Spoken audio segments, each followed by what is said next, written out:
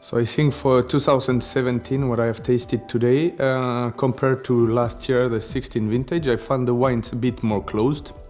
a bit more robust for now. But I think they will taste amazing in a few years, and I would say probably they will be. Uh, they remind me a lot like 2012 in terms of vintage, and many journalists have said that it was not crazy vintage or so on, but I kind of disagree. Like if you take, for example, Saint Julien and Pauillac, um, it's very good. And yesterday also we tried some whites from the Graves uh, area, and it's very,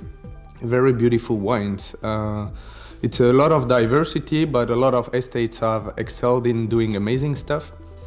So if I would take a few uh, highlights, probably it would be maybe uh, Chateau Palmer, um, then maybe uh, Chateau Clerc Milon, and as pretty often really stand out for me is uh, Chateau Pontet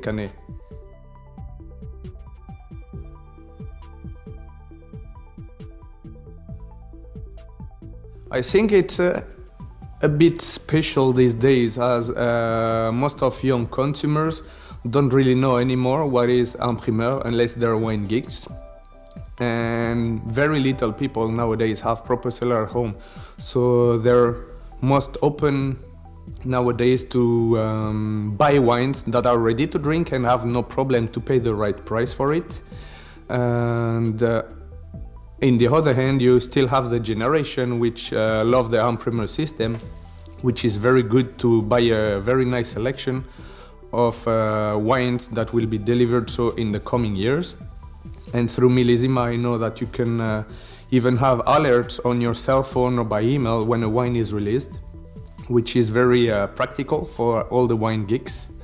And this allows, the en primeur basically allows uh, all these people to have very good value for money wines